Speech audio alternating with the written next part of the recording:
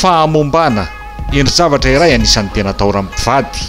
Noho ny fivoarana sy ny fikarohan'ny zanak'olombelona anefa, azo atao tsara ankehitriny ny manome zaza ho an'ireo olona nosokajiana hatramin'izay fa momba.